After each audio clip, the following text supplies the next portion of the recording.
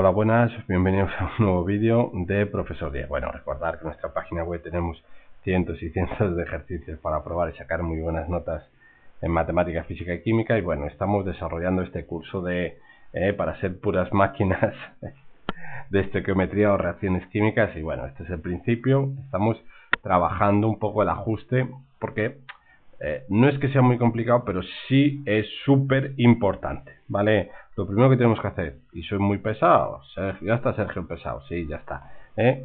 es siempre ajustar la reacción. Que la ajustamos mal, ya la hemos liado, ¿vale? Entonces, por eso me pongo pesado, porque no quiero que ocurra esa desgracia, ¿vale? Entonces, venga, vamos, en el vídeo anterior era solo comprobar si estaban ajustados o no, en esta os doy la reacción medio ajustada y me la tenéis que ajustar vosotros. Yo prefiero, bueno, antes de nada, eh, os voy a explicar una cosilla. Si ya que lo veo ahí, recordar que antes a la izquierda están los reactivos y estos son los productos.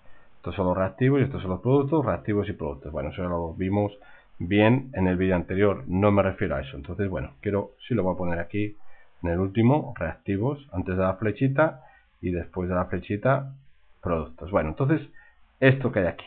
¿eh? Aquí hay una L, aquí hay una G, G, G, G, G, G, G.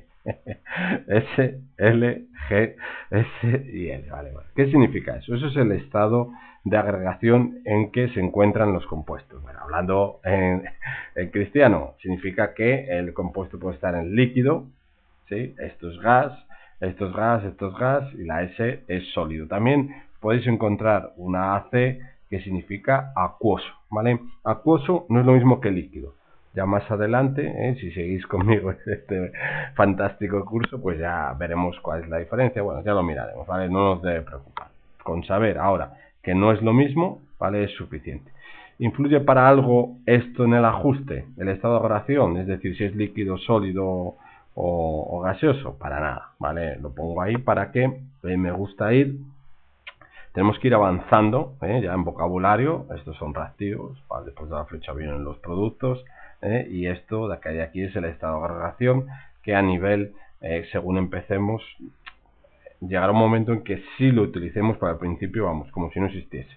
¿Vale? Según vayamos avanzando en las reacciones químicas, cada vez va haciendo problemas más divertidos y más complicados, pues bueno, algo tendremos que hacer con ello o no. Pero bueno, eso ya lo veremos más adelante. Ahora solo saber qué es, pues si lo vemos, ¿eh? pero no vamos a hacer nada con ello. Bueno, pues ya no me tiro más rollo. Venga, vamos a terminar el ajuste de estas reacciones. Venga, entonces aquí empezamos con el primero. Aquí tenemos, empezamos por los carbonos. Eh, yo suelo empezar, ya os diré ya más adelante los trucos que suelo utilizar yo, pero bueno, empiezo por los carbonos. Pues aquí hay dos carbonos y aquí hay dos carbonos. ¿Sí? Bueno, están bien. Los hidrógenos, aquí hay seis hidrógenos, aquí hay 3 por 2, 6. Bien, bien. Eh, está bien. Pues lo siguiente, aquí hay un oxígeno, aquí hay 3, ¿vale? Y aquí hay 4, ¿sí? Y 3, 7, ¿vale? Luego, aquí hay 1, aquí tendría que haber 6, ¿lo veis, no? Luego aquí hacen falta 3 oxígenos. Y una vez que ajusto, compruebo. Tengo un oxígeno, y aquí 3 por 2, 7, ¿verdad? Y luego aquí tengo 2, 4 más 3, 7. Luego los oxígenos están bien ajustados. Luego lo borro y ya está. ¿Vale? ¿Lo veis? Lo ajusto y luego lo compruebo. ¿Por qué? Porque sí es verdad que es muy importante que el ajuste esté bien, porque si he ajustado mal la reacción, ya está mal el problema. ¿Vale? Entonces, ajustamos y comprobamos. Ajustamos y comprobamos. Ajustamos y comprobamos.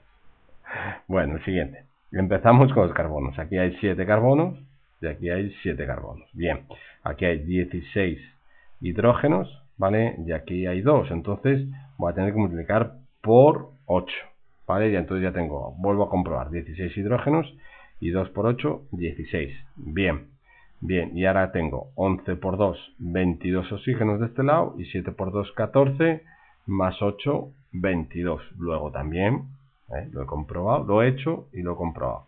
Luego está bien, ¿vale? Venga, ahora el último, venga. Un calcio aquí un calcio aquí. Bien. Un silicio de este lado, un silicio de este lado. Bien. Tres oxígenos de este lado, tres oxígenos de este lado. Bien, bien, bien, bien. Ahora tenemos eh, hidrógenos de este lado tenemos uno y de este lado tenemos seis. Seis. ¿verdad? Sí, entonces, ¿qué tengo que poner? Le voy a poner un 6. Ahora vuelvo a contar. Tengo 6 hidrógenos de este lado y tengo 6 hidrógenos de este lado. Pero al poner un 6 aquí, eh, daros cuenta que modifico también el flúor. Eh. Lo que pasa es que el flúor no lo había tenido en cuenta porque no aparecía antes. Luego no he modificado nada. ¿Vale? Entonces, eso sí, ahora tengo 6 flúor aquí y aquí tengo 4 y 2, 6 flúor. Luego está bien, si queréis podemos, eh, a veces digo, ah, pues empiezo desde el principio. Venga, comprobamos un calcio, un calcio, un silicio, un silicio, eh, tres oxígenos, eh, tres oxígenos, 6 hidrógenos, 3 por 2, 6 hidrógenos y 6 flúor, aquí hay 4, ya que hay 2, 6 flúor. Luego también está bien, ¿vale? No cuesta nada comprobarlo ¿eh? y nos aseguramos tenerlo bien. Bueno, pues venga, si no os lo había dicho, ¿eh? venga, seguimos ¿eh? mejorando cómo ajustar, cada vez más complicado, venga, y como siempre, le dais el botoncillo de me gusta. Venga, nos vemos en los vídeos.